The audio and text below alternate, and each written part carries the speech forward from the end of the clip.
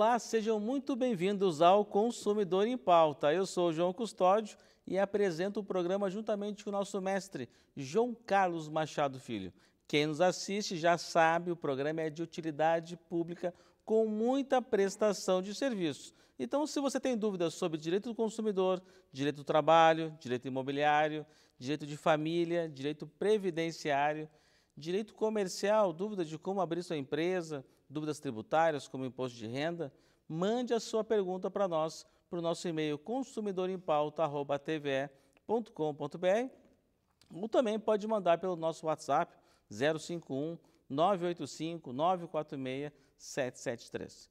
E hoje vamos falar um tema que o pessoal que mora em condomínio, que tem problema com o vizinho, dúvidas sobre como comprar o imóvel, direito imobiliário é a pauta de hoje. A gente sempre recebe muitas perguntas e quem está aqui hoje é uma pessoa que sabe tudo de direito imobiliário. Doutor Daniel Scalona, seja muito bem-vindo.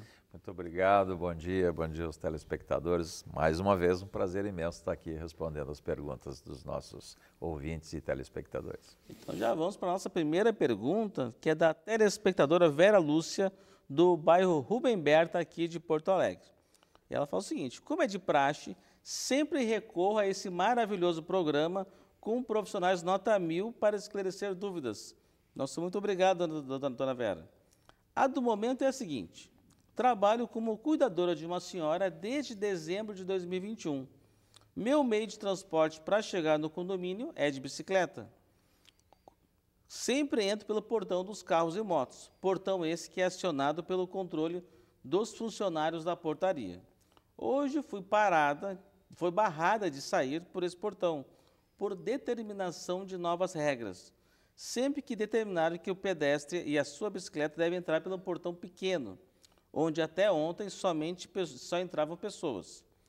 Como bicicleta também é considerado meio de transporte, é válida essa nova regra ou posso questionar, doutor Daniel? Então, é válido sim, né? O condomínio delibera a forma correta de utilização das áreas de condomínio. No caso aí, o condomínio estabeleceu que a passagem do ciclista não é mais pela passagem de veículos, e sim pela passagem de pedestres. Não tem nada de errado nisso, pode ser estabelecida essa regra sem nenhum problema. Muitas vezes essa, essa regra é imposta até por questões de segurança. Abre para a bicicleta, passa rapidamente até fechar, tem uma lacuna ali de, de alguns segundos que, o, que a portaria fica, fica, digamos assim, aberta. Né? E, então é, é, válido sim, o condomínio pode dispor essas regras sem nenhum problema. Claro, desde que sempre aprovado pela Assembleia né, e é, constantes da, dos, do regulamento interno ali de, das normas de uso do condomínio. Até, ele... até por uma questão até de segurança, até do, da própria do ciclista com o carro, né? De repente um carro não vê, passa por cima, né? Acho que tem que ter uma noção mais de segurança. É, essa, o, essa de, de, determinação, acho. Segundo as leis de trânsito, o motorista do veículo deve dar preferência ao ciclista, sim, né? Sim, sim. Mas é, sempre em termos de normas internas, no caso do condomínio, o condomínio tem essa prerrogativa de estabelecer é, por onde o ciclista passa ou não dias chuvosos, dias nublados, às vezes a visibilidade fica um pouco prejudicada. Quem, quem, se o ciclista não está bem sinalizado, né? Também, né? Bom, temos aqui agora a pergunta do seu Gilberto. Uma pergunta bem grande, vou ler boa parte dela aqui, já li antes do doutor Daniel aqui. Fala o seguinte: moro em um apartamento no terceiro andar. A vizinha de baixo emitiu mensagens ao condomínio sugerindo que as infiltrações de água na sua área de serviço poderiam ser algum vazamento do meu imóvel. Alguém, ou ela, ou o síndico, solicitou um perito. Fui convocado para a vistoria e ele informou não ter constatado vazamento a partir do meu imóvel.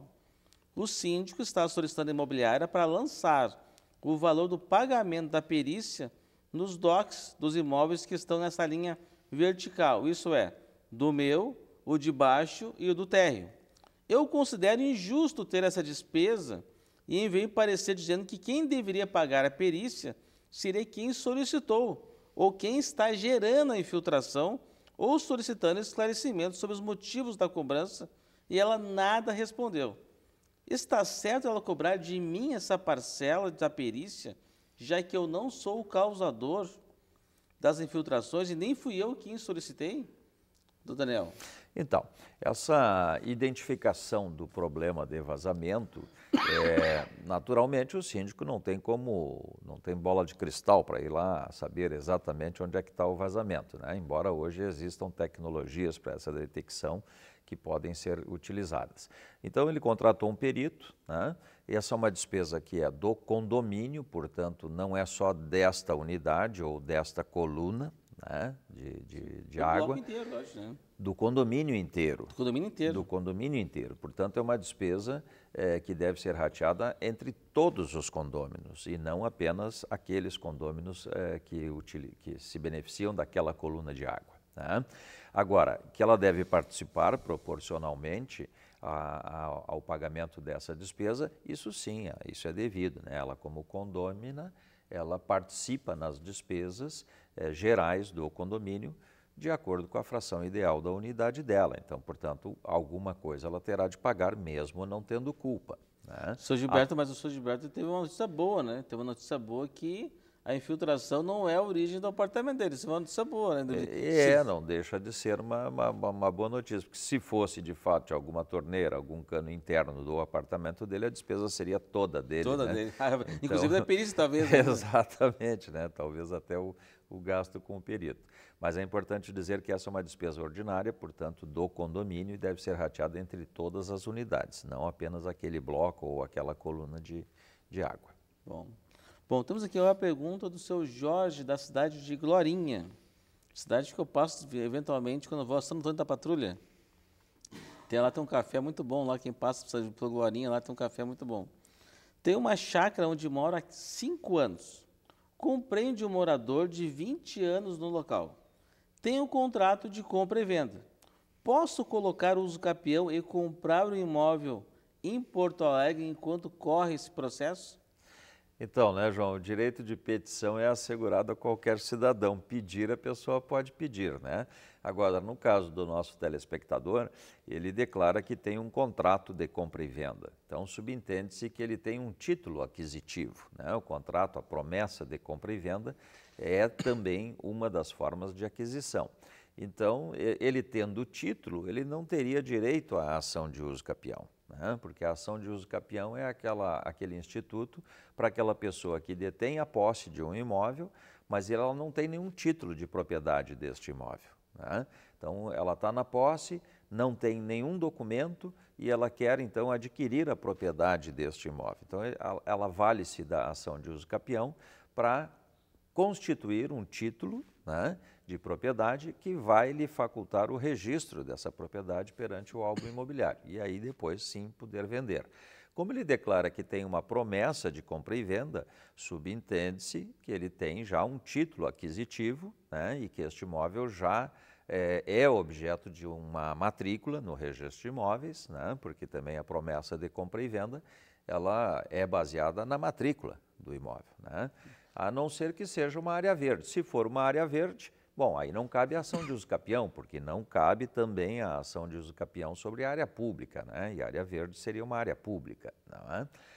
Então, assim, não vejo por onde ele tenha caminho pela ação de uso capião. Aparentemente é uma questão de registro de propriedade né? e identificar melhor esta promessa de compra e venda para saber orientar ele qual é o melhor caminho, né, para nós podermos dizer, olha, vai por aqui, vai por ali, leva essa promessa a, a registro no álbum imobiliário ou não, é, não, não localizei a matrícula, bom, então aciona o proprietário anterior, é, ou não, de fato, este imóvel não tem registro, né, então aí sim caberia uma ação de uso capião, mas só na hipótese é, de não ser área pública, de não ser área verde.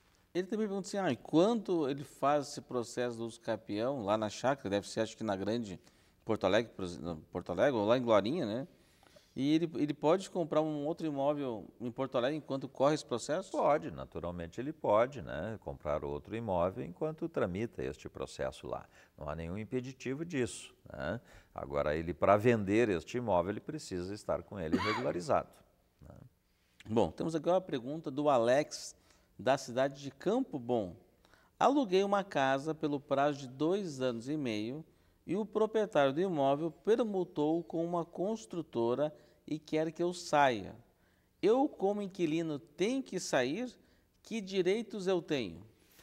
Então, Alex, veja, o direito de preferência, que é aquela quando o proprietário resolve pôr o imóvel à venda, deve dar a preferência ao inquilino. No caso da permuta, ela não existe, essa preferência não existe. Então, o proprietário poderá sim permutar este imóvel com, com terceiros, independente da tua vontade, não é? é? Agora, tanto ele quanto o terceiro terão de observar o prazo da locação. Né? Você diz que tem um contrato de dois anos e meio, portanto, um contrato de 30 meses, né? e este contrato deve ser respeitado tanto pelo locador quanto pelo adquirente desta propriedade por permuta. Né? Então, é o teu direito permanecer no imóvel pelo prazo do contrato. Tua obrigação desocupar o imóvel ao término do contrato, tendo em vista que ele foi objeto de permuta e, neste caso, você não tem a preferência. Uma, uma, fazendo uma pergunta em cima dessa. Se o proprietário não permutou, ele simplesmente vendeu o imóvel, deu direito de preferência, o inquilino não tem, condições ou interesse em comprar o imóvel, mas nesse caso ele também ficaria assegurado esse prazo do contrato dele de dois anos e meio? Sim. Ele, o contrato de locação ele fez por 30 meses, portanto não cabe a denúncia vazia o proprietário quer vender este imóvel, o novo adquirente ele não é obrigado a manter esta locação, mas também é direito do, do locatário permanecer pelo prazo do contrato. Então, assegurado os 30 meses, mesmo na hipótese de alienação. Essa é uma dúvida muito importante para é. todos os nossos telespectadores ficar sabendo dos seus direitos, né? Isso.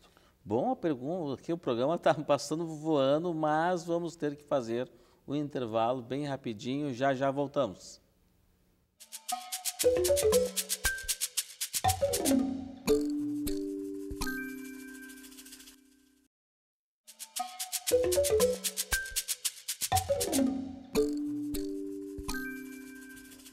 Bom, falei que era rapidinho, já estamos de volta. Lembrando, quem nos assiste, que o programa é de utilidade pública com muita prestação de serviços. Então, se você tem dúvidas sobre direito do consumidor, direito do trabalho, direito imobiliário, direito de família, direito previdenciário, direito comercial, dúvidas sobre como abrir uma empresa, dúvidas tributárias, de como, como declarar seu imposto de renda, mande a sua pergunta para nós, não fique com dúvidas. No nosso e-mail consumidorimpauta.tve.com.br e também pelo nosso WhatsApp, já aproveita, salva aí no seu celular. O nosso número é o DDD 051 985 946 773. Hoje que estamos falando sobre direito imobiliário com o doutor Daniel Scalona, esclarecendo as dúvidas dos nossos telespectadores. E já vamos para a nossa primeira pergunta desse segundo bloco, que é do da Rosane, da cidade de Montenegro. Fiz benfeitorias no apartamento que moro de aluguel. Porém, o proprietário não quer descontar do aluguel e nem reembolsar. O que eu posso fazer, doutor Daniel? Primeiramente, é preciso que a nossa telespectadora entenda e faça a diferenciação de que tipo de benfeitorias ela fez. Né? Se foram benfeitorias chamadas voluptuárias, aquelas benfeitorias, ah, eu pintei o apartamento da cor é, salmão porque eu gosto do salmão. O proprietário não é obrigado a indenizar isso. Né? São aquelas. É até é, uma tinta mais cara, talvez. Talvez até mais cara, mesmo, mesmo que seja mais cara. Né? Então, essas benfeitorias voluptuárias, estas não são indenizáveis, portanto, o proprietário pode dizer: não, estas eu não vou pagar. Agora, aquelas necessárias, por exemplo, há um problema de vazamento no apartamento, né? Que naturalmente seria a responsabilidade do proprietário. E o inquilino vai lá e faz o conserto deste, deste defeito, desse, desse vício, ele tem direito ao ressarcimento. Então é preciso entender, ele fez o que? Ele fez uma benfeitoria, tinha uma torneira velha lá vazando, dava problema para o apartamento de baixo, ele foi lá e substituiu por uma nova, tem direito sim à indenização.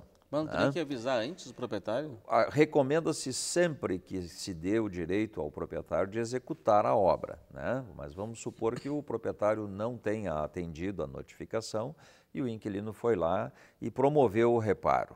Né? Como é uma benfeitoria útil, né, necessária, estas são reembolsáveis, portanto, o inquilino teria direito ao ressarcimento.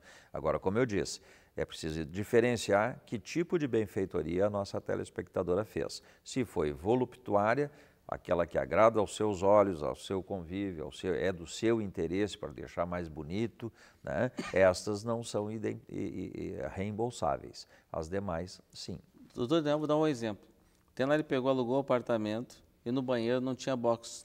Tinha aquele espacinho para botar uma cortininha aquela de, uhum. de, de plástico. Certo. Toma banho, te gruda todo ali. Dele falou, vou botar aqui um box de vidro temperado, bonitaço aqui, vou até valorizar mais o apartamento. E depois, quando sair, eu vou criar um descontinho desse, desse box. Nesse caso, ele poderia pedir? Não. Não. Então, recomenda-se o quê? Naturalmente, numa hipótese como essa, há uma valorização do imóvel, né? porque essa é uma benfeitoria que vai permanecer no imóvel, vai valorizar para uma segunda locação ao proprietário. Então, o que, que a gente recomenda para essa pessoa? Que ela notifique o proprietário, peça autorização e peça o reembolso dessa despesa, ainda que ao final da locação. Né? Porque, é, não sendo assim, o proprietário muitas vezes nem fica sabendo das, das, benfeitorias que ele fez no imóvel, e aí como é que ele vai é, é, reembolsar? Né? Por que não me avisou antes? Né? É, e o proprietário também, ele entrega o imóvel em determinadas condições e exige que o imóvel seja devolvido naquelas mesmas condições. Vamos supor que o box que a criatura botou lá, a locatária botou no imóvel, né? a pessoa botou no imóvel, é, é, não seja do agrado do proprietário. Ah, eu não gostei do box, não combina com os azulejos, não queria esse box, por isso não botei. Né? Como é que eu vou reembolsar? Naturalmente não, e, e, aliás não só não sou obrigado a reembolsar como proprietário, como também posso exigir que ela desfaça, que ela tire e deixe a cortininha como era. É que tem uma questão que às vezes o proprietário, às vezes aquele, é a renda do aluguel é a sua única renda e ele depende daquela renda para a sua sobrevivência, para pagar os seus compromissos. Ele, evidentemente não há espaço no orçamento dele para custear um box, por exemplo. Né? É, por isso a importância da notificação prévia, né? A importância da, do diálogo e da conversa. Exatamente. Bom, temos aqui a pergunta do Marcos, da cidade de Novo Hamburgo. Tem uma goteira escoando do teto do meu apartamento vindo do vizinho. Posso pedir para ele fazer o conserto ou eu faço o conserto e peço para ser indenizado? De quem é a obrigação?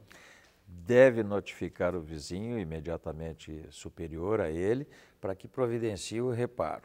Não sendo providenciado pelo, pelo, pelo proprietário do imóvel, é, notifica o condomínio, para que o condomínio, é, por sua vez, exerça o direito de reparo né, porque o síndico tem essa capacidade, esse poder de adentrar no imóvel para identificar o problema e executar os reparos necessários. Né, em não sendo feito isso, em última hipótese, ele providenciando o reparo, né, ele terá direito ao ressarcimento naturalmente. Mas o caminho é, notifica o, o, proprietário imediatamente superior, não havendo resposta, notifica o condomínio, e aí, não havendo solução, aí sim, nessa hipótese, executa a obra e depois busca o ressarcimento pelas, pelos, pelos gastos.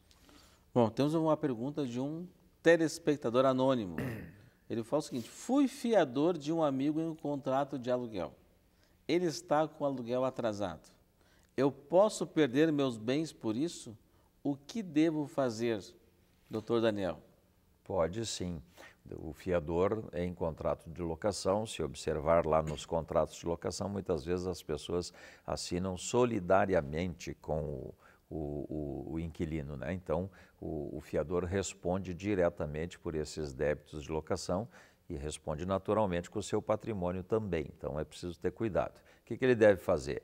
Ele deve, então, providenciar o pagamento para evitar que essa dívida se alongue Nessa hipótese, ele se subroga no direito de exigir do, do seu afiançado, do inquilino, essa, esses valores, né? ou não tendo condições, ele deve notificar e pedir a exoneração da fiança, o que não é muito aceito pelas imobiliárias, né? mas é uma, uma iniciativa que ele pode promover. Recomendo que procure um advogado para se orientar direitinho sobre como se exonerar desta fiança de forma legal. Vamos supor, tem uma dívida lá de 5 mil reais Está tudo bem. Vou lá pagar os 5 mil reais, mas exijo que eu saia de avaliador, de, de fiador.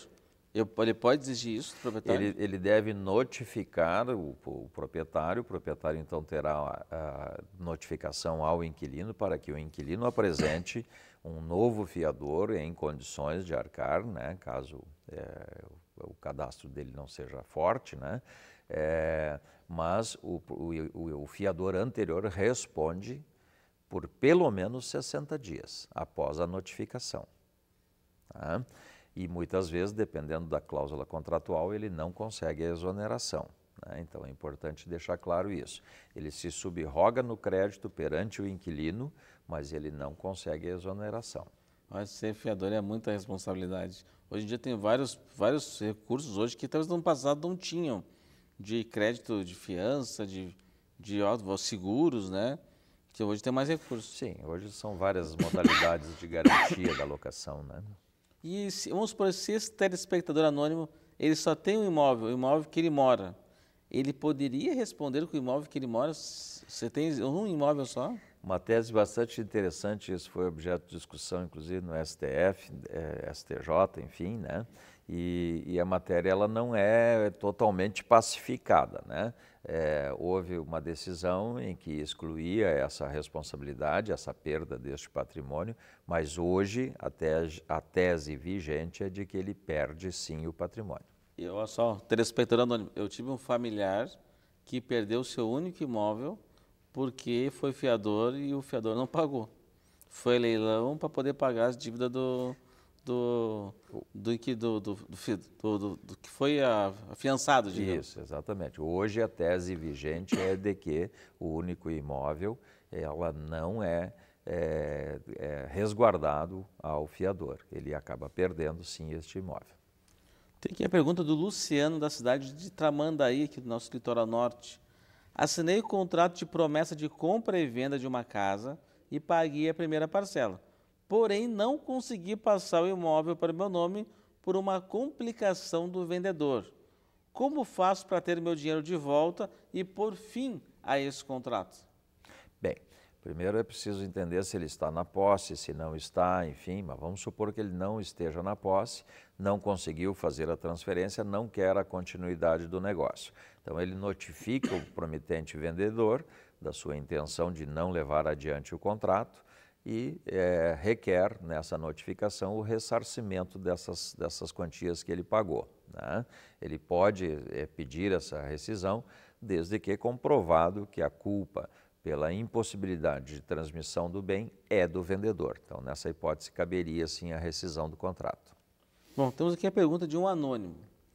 A árvore que está na calçada do meu vizinho está sujando a minha calçada com sementes, que podem fazer com que as pessoas resbalem e caiam, né?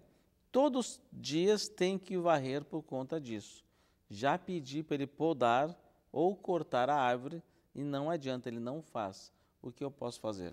Bem, o telespectador narra que o problema é que a árvore que causa o problema está na calçada, né? Portanto, é, essa, essa reivindicação ele faz para o vizinho que por sua vez vai reivindicar a, a Secretaria Municipal do Meio Ambiente para que faça a poda né, ou, ou, ou a supressão dessa árvore da calçada. É, em Porto Alegre, o que, que tem ocorrido? A pessoa faz a solicitação para a ISMAN, né, em a ISMAN não atendendo a solicitação, porque são muitas as demandas, num prazo de 60 dias, o, o, proprietário então poderá fazer a remoção da árvore sem nenhuma penalidade. Agora é preciso comunicar ao, ao órgão ambiental responsável por, essa, por essas árvores é, a necessidade da supressão ou da poda né, dessa árvore para evitar esse tipo de problema. É, como eu disse, havendo a comunicação ao, meio, ao órgão ambiental e não tendo havido providência, o proprietário, nessa hipótese, pode remover a árvore. Tá? Ah, mas olha, remover uma árvore não é, não é fácil, né? Não é barato. Não, é, né? é, não é fácil, não é, fácil, não é, barato, não é barato. E não tem um risco aí de, olha só, eu fui, no, avisei as mães, não fez nada e eu fui lá tirar a árvore. Não posso ter complicações é, de multas? É, é, como eu disse, a legislação ambiental de Porto Alegre, ela permite que a pessoa faça a, a supressão, né, desde que previamente comunicado o órgão.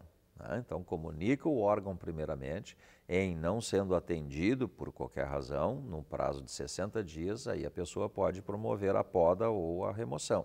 Mas é preciso comunicação prévia ao órgão ambiental. Olha, porque é bem, acho bem, bem, bem eh, que às vezes tem alguns, algumas casas, árvores que estão levando a risco de vida das pessoas, pode ficar em cima de uma casa. Isso. Nesse caso, eu acho que entendo mais, mas se for só as sementes estão caindo, atrapalhando a calçada... É. É, então por isso é a necessidade de comunicação ao órgão ambiental, né? Bom, muito obrigado, doutor Daniel, pelos ótimos esclarecimentos. Também agradecer a nossa qualificada audiência. Muito obrigado. Tchau, tchau.